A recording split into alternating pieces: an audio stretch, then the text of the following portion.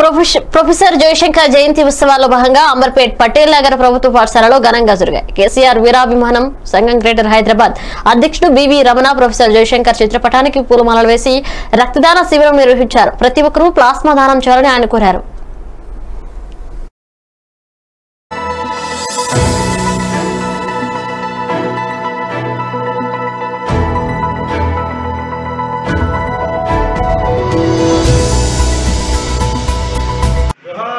Professor Jayashankar साहब। जोहार professor Jayashankar साहब। मैं केसीआर वीराभिमान संगम, ग्रेटर हैदराबाद प्रेसिडेंट हूँ।